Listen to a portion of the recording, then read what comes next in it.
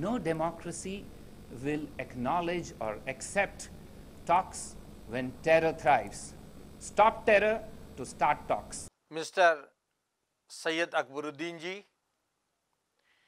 representing our country as a special envoy to the United Nations, has stood his ground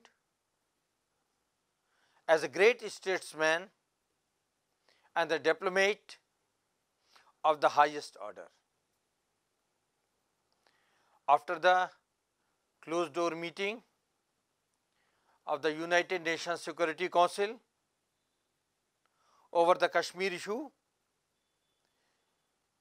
Mr. Akbaruddin proudly conveyed about the extremely positive steps undertaken by our Prime Minister Honorable Narendra Modi toward the security, peace and progress of India in the true spirit of democracy. With extreme confidence,